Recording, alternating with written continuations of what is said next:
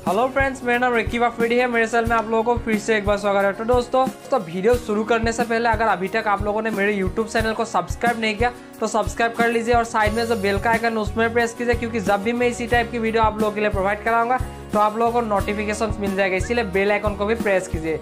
चलिए वीडियो को शुरू करते हैं। हेलो फ्रेंड्स तो फिर से एक बार मैं आप लोगों के लिए इंडियन आर्मी की भर्ती लाया हूँ दोस्तों। कौन सी स्टेट का है, क्या है, मैं सबको सभी डिटेल में समझाने वाला हूँ दोस्तों। मैं कई दिन हो गया दोस्तों, मैंने वीडियो नहीं छोड़ा है यूट्यूब में। दोस्तों, मैं थोड़ा बिज़ी था, इसी की वजह से मैंने वीडियो नहीं छोड़ पा रहा हूँ दोस्तों। इसीलिए मैंने वीडियो नहीं दिया है यूट्यूब में। दोस्तों, अभी रोज़ देने वाला हूँ वीडियो एक एक वीडियो रोज़ देने वाला हूँ। और दोस्तों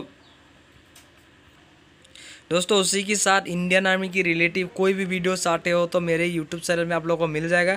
जैसे कि दोस्तों ऑनलाइन अप्लाई किस तरह से करते हैं रजिस्ट्रेशन किस तरह से करते हैं डॉक्यूमेंट्स क्या क्या सही है वगैरह वगैरह, जो भी आप इंडियन आर्मी के बारे में मेडिकल टेस्ट वगैरह जो भी आप जानकारी चाहते हो एसएससी के बारे में भी, जो भी आप जानकारी चाहते हो ना, सब कुछ वीडियो मेरे यूट्यूब चैनल में आप लोगों को मिल जाएगा दोस्तों। तो दोस्तों, आज की वीडियो स्टार्ट करते हैं दोस्तों। आज का वीडियो है दोस्तों army requirement rally at the Barrackpore का है, ठीक है, बाराकपुर का है।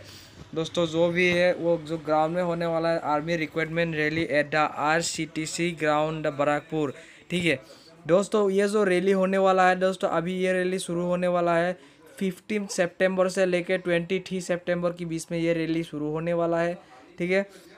दोस्तों, इसमें जो रैली में जो शुरू होगा, दोस्तों कौन कौन से डिस्ट्रिक्ट जा सकते हैं? दोस्तों, ये आर्मी रिक्वायरमेंट रैली दोस्तों ट्वेंटी फोर प्रागनास जो नॉर्थ का है, उसके बाद दोस्तों हागली का है बैंकुरा का है Bankura and Purulia district form दोस्तों, यही डिस्ट्रिक्ट सिर्फ़ इस रैली में जा सकते हैं दोस्तों। और दोस्तों, ये रैली का जो ऑनलाइन अप्लाई सॉरी जो रैली होता है दोस्तों फिफ्टीन सितंबर से लेकर ट्वेंटी थ्री सेप्टेम्बर तक ये रैली चलेगा। और ग्राउंड पे, जिस ग्राउंड पे चलता है, वो आर सी टी सी यानी कि दोस्तों रेलवे की ग्राउंड होगा शायद। ग्राउंड जो बाराकपुर का है ऑनलाइन रजिस्ट्रेशन होगा दोस्तों सेवेंटीन जुलाई से लेकर ऑनलाइन अप्लाई शुरू होगा, जो कि थर्टीन अगस्त तक चलेगा। उसके बाद दोस्तों, जो एडमिट कार्ड आता है, वो एडमिट कार्ड आएगा तीन सेप्टेम्बर में आ जाएगा एडमिट कार्ड आपका।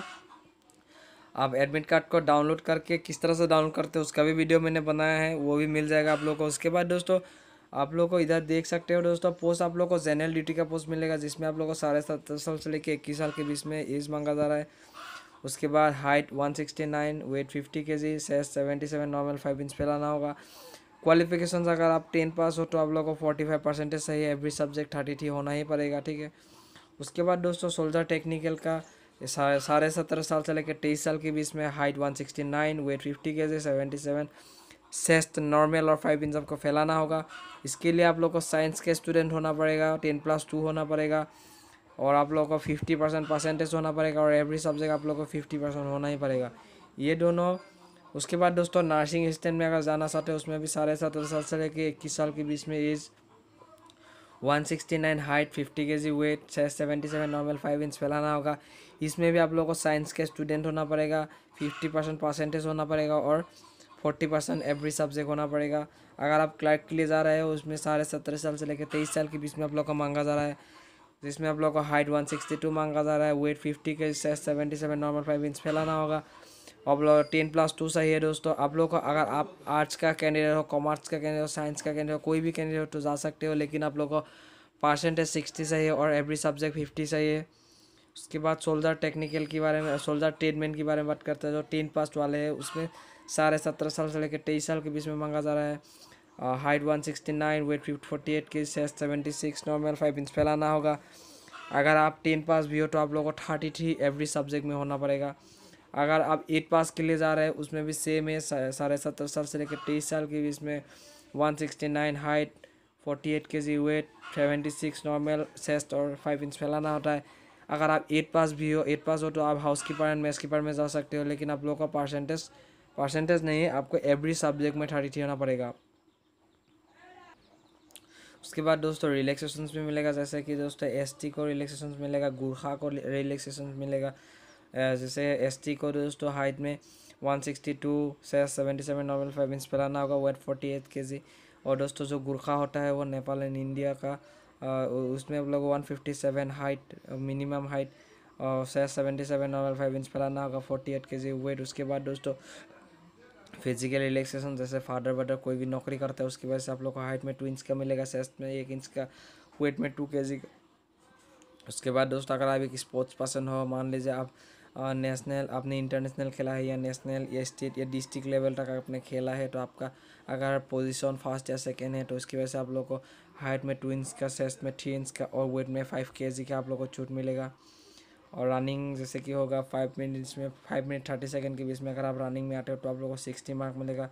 अगर आप five minute thirty one second से लेकर फोर्टी फाइव सेकेंड के बीच में आते हो तो आपको फोर्टी एट मार्क मिलेगा। पुल अप्स टेन से लगा तो टेन फोर्टी मार्क मिलेगा। यानी कि दोस्तों बीम जिसे बोलते हैं, अगर आप टेन से लगा तो फोर्टी मार्क मिलेगा। नाइन से लगा तो थर्टी थ्री मार्क एट से लगा तो ट्वेंटी सेवन मार्क सेवन से लगा तो ट्वेंटी वन मार्क सिक्स से लगा सिक्सटीन मार्क मिलेगा। उसके बाद दो, नौ फीट का लॉन्ग जंप होगा। उसके बाद जिग जैक बैलेंसिंग देखा जाएगा, ठीक है? उसके बाद मेडिकल टेस्ट क्या क्या होता है लॉन्ग और रिटर्न टेस्ट में किस तरह से होता है सिलेबस वगैरह एडमिट कार्ड किस तरह से डाउनलोड करते हैं, सब कुछ वीडियो मैंने बनाया है। Domicile P R C documents क्या कैसे है रिलैक्सेशन सब कुछ मैंने वीडियो बनाया है मेरे यूट्यूब चैनल में। आप लोगों को मिल जाएगा, एक बार आप अच्छी तरह से देख लेना, मेरे यूट्यूब चैनल में आप लोगों को ज़रूर मिल जाएगा। दोस्तों, अगर आप लोगों को मेरा वीडियो अच्छा लगा तो लाइक कीजिए शेयर कीजिए और सब्सक्राइब ज़रूर कीजिए, क्योंकि जब आपका सब्सक्राइब मुझे मोटिवेट करता है, इसी टाइप से वीडियो आप लोगों को हमेशा प्रोवाइड करता रहूँगा। तब तक के लिए बाय बाय जय हिंद।